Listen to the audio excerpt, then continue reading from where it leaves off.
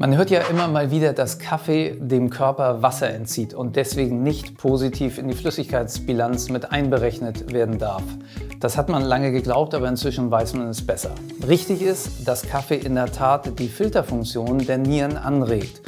Das heißt, es wirkt harntreibend, was sicher viele von euch auch schon mal bemerkt haben.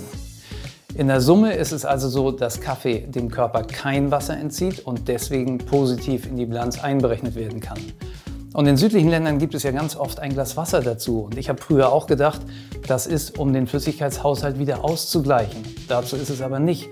Das ist, um die Geschmacksknospen zu sensibilisieren für den nächsten leckeren Schluck Kaffee.